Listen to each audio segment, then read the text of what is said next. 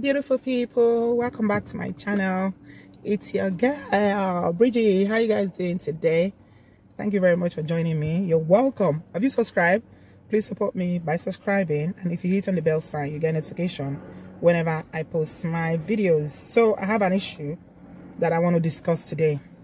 I got this email from a European woman. This is the first time I know you both is sending me an email um, regarding um, issues so I'm just going to scan and, and just read through it. Um, it's quite long, um, but I'm just going to uh, skim through it and just um, bring out the salient points, what she is saying. So she's saying that she is European married to a Nigerian man, an Igbo man. And he has his own business, um, has his own business, but things are not quite well with their marriage because he is very secretive and generally he's a mama's boy.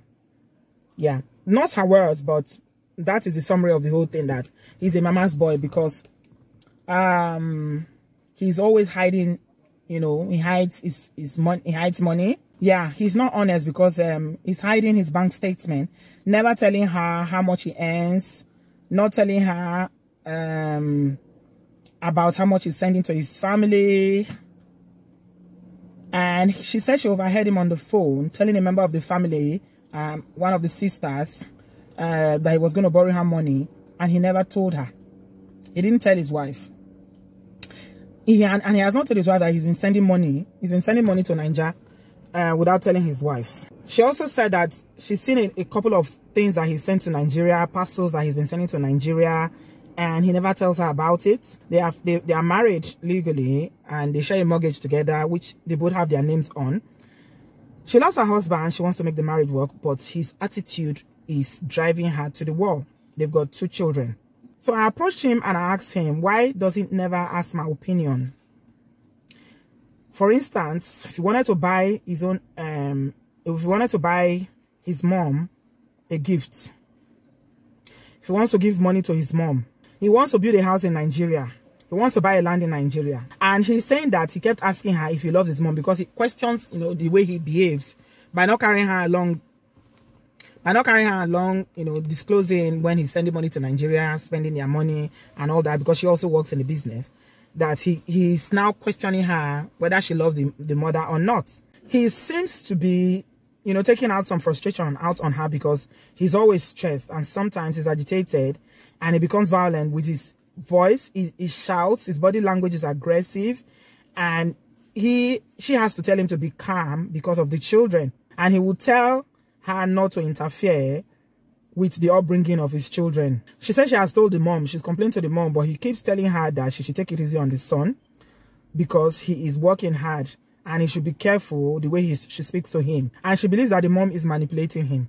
Okay, he's saying that she's saying that he was threatening me on several occasions, putting me down and not helping me with the kids and trying to show power and control, saying that you wanna you you're going to respect me. I said your family are ignorant and he got upset, angry, and one day he called the police for me and told them for statement that I physically abused him and other staff.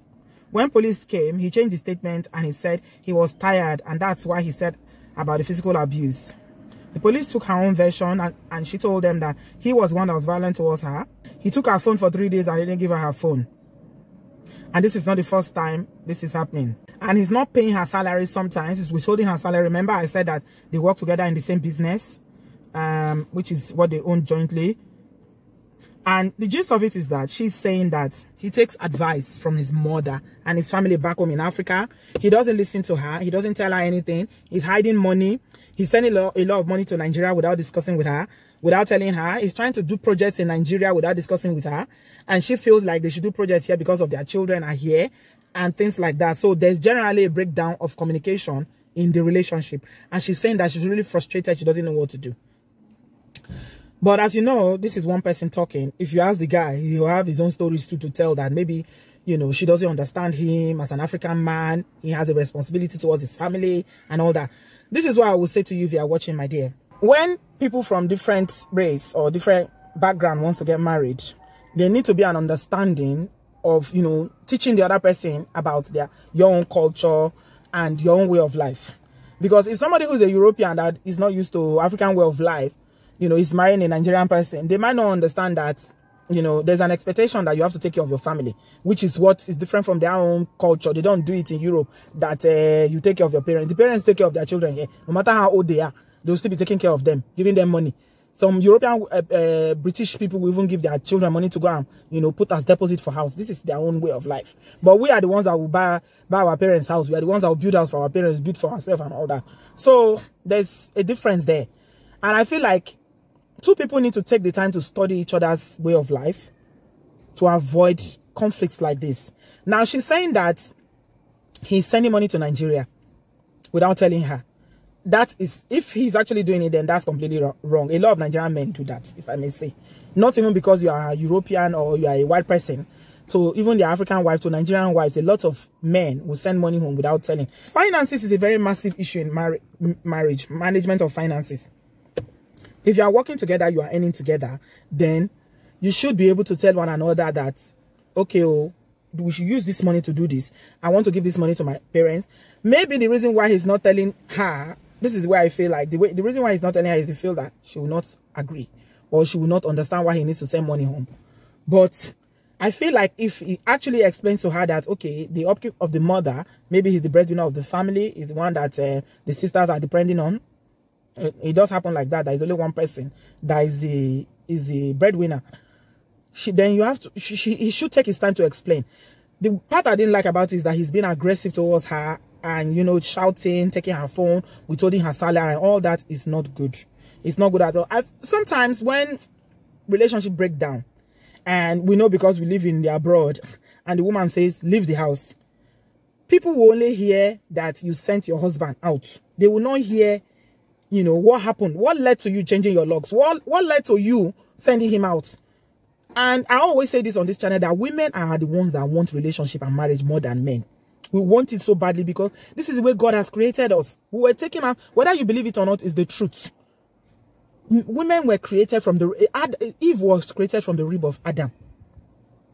So, we want relationship. We are relationship. We are relational people, beings. Whether either we, we want relationship with our husband or partners or our children, we shall want that connection, shall, in one way or the other. That is women for you. But this is the way I, am I'm, I'm looking at it because it's a lot of issue in this marriage now, which I don't think is something we can solve on a YouTube uh, video. I feel like maybe you, if you are watching, my dear, you need to talk to your husband about going for counseling. You need professional counselors because these are the people that will sit you both down in a safe environment where he can express why he's so angry and venting on you. It's probably because, I don't know, if there's some tension in, with his family regards so whether he should have married a white person or marry a black person. Some African parents don't like their, their sons marrying a white person. You don't know. Maybe that is what he's dealing with. That's why he's trying to please his his uh, his mother and his family. That might be an issue that he's not open to te telling you about. Then another thing is that a lot of African men struggle to communicate. This is a very massive problem.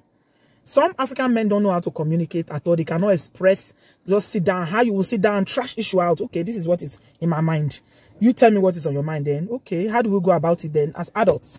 Meet and discuss and work out. Okay, why are you so angry? Why are you shouting all the time? The children are scared. Why?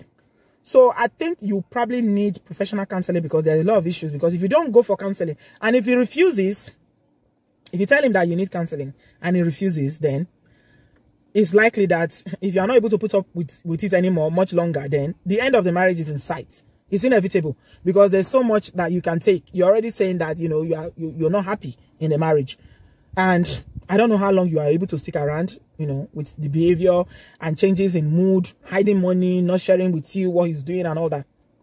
So this is my candid advice to you that you need to talk to him about going for counseling so that you go and work out your issues. If he doesn't listen, if you know somebody that knows him, somebody that he respects, somebody who's older, because we, we Africans generally respect people who are older than us.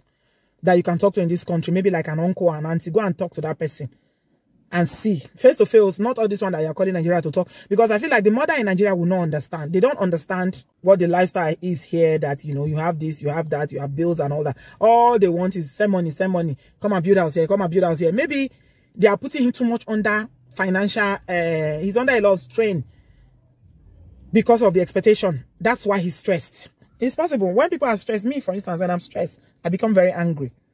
One of the ways that, you know, when, I, when I'm stressed, anger is one way that you see me, I'll, I'll be snapping. Anything, I'll just be snapping. Any small thing like this, I'll just lose my temper. It's a sign of stress. But there's no way you are going to be able to deal with all these many issues without having a proper sit down, you know, if you manage to talk to him about it and it's not working one-on-one, -on -one, which I'm sure you've done, then you need someone to guide you in that, you know, formal, safe environment where you can talk about the issues and navigate how, you know, you can work together as a couple. You've got children here now. You say you got a mortgage. If you decide to kick him out of the house, then it's going to be a problem. How are you going to be able to manage, you know, paying your bills, looking after your children, running a business all by yourself. I mean, it seems like a lot is tying you guys together. You have a business together, you have a house together, you have children together. So it is in the interest of everybody involved in this marriage for you to work. This is why I will be telling him. It will be in the interest of you and I if this marriage works out. Because if it doesn't, everybody will lose. Everybody will lose. He might end up losing the business. You know, he might end up losing the house you might end up not being able to pay it and the bank will come and take it. So there are so many things at risk here that you don't want to take that risk to lose them or because you cannot communicate in a marriage. And this issue of men hiding money. If you're a man out there, whether you are a Nigerian man or you're a non-Nigerian man and you are sending money to Nigeria without telling your wife and you are a woman, you are doing the same thing, then it is wrong. It is completely wrong. I feel like finances is one aspect of relationship that couples should be open Tell the, your wife, this is how much we have. Because whatever you belongs to you belongs to your family. It's going to impact on whether you are going to be able to pay your bills, how you will care for your family, your children, and everything. Tell your wife, this is how much we have. Women like that kind of a thing. Tell me, this is how much we have. Okay, this is what I'm planning to spend the money on. What do you think? Sometimes it's as simple as that. Just telling me, what, what do you think? I might just agree and say, oh, okay, that's a good idea. Let's go ahead and do it that way. And I know for most women, when a man is open like that and sharing, you know, open about his finances, this is how much I have, this is how much, okay. If women will be very, a lot of women will be very open and happy to share their own too. All this hidey hidey, I never really understand why people hide. Why do you need to hide? Eventually, they are still going to find out that you're sending money to Nigeria. So why are you doing it? It doesn't make sense to me, to be honest. So um, I hope that you're able to, you know, find somebody to talk to him and you're able to get professional help like I said, it's going to be in the interest of everybody involved for this marriage to work out. Tell him that, you know, if he's under stress, he's going through a lot, you are his wife, you're willing to listen to him, you're willing to help him. But he has to allow you. If he doesn't allow you and he locks up and he keeps calling his mom in Nigeria, every single thing calling his mom, then that's not maturity. A man should not be running to his mom. When you are a married man, you have a wife. You Why should you be calling? He say you will leave your father and mother and be cleaved to your wife. Why are you calling your mother? Anybody that is calling their mother, you're a married man, you are you have a wife and you're calling your mother, you're not matured. I'm sorry. You're not. Because you are still attached to your mother's uh, uh, apron strings. No. It is wrong. If you are doing that out there, better stop it. You should be able to talk to your wife. When all the tempers have cooled down, call her and talk to her. This is the thing that you're doing I don't like. See if she will not change. These are all the things that you can use to make difference in your relationship. But when you don't talk to the person you're supposed to talk to, you're busy calling Nigeria every second, every minute, then I'm afraid the problem is not going to end. Anyway, I hope um, he will be able to listen to you and take your this advice I'm offering you. And I hope everything works out for you and your family stays together and you're happy. Because the most important thing is that for you to be happy. Because if you're not happy, your children will not be happy. If your marriage is not healthy, you will not be happy. Your children will not be happy. So at the end of the day, is working together to ensure that everybody stays together and you are happy and safe. So that's where I'm going to leave it today. Um, leave me your thoughts and your comments in the comment section. I hope um, um, you learn one of the things from this. And um, yeah i'll talk to you guys in my next one. Thanks a lot for watching. I love you. Bye bye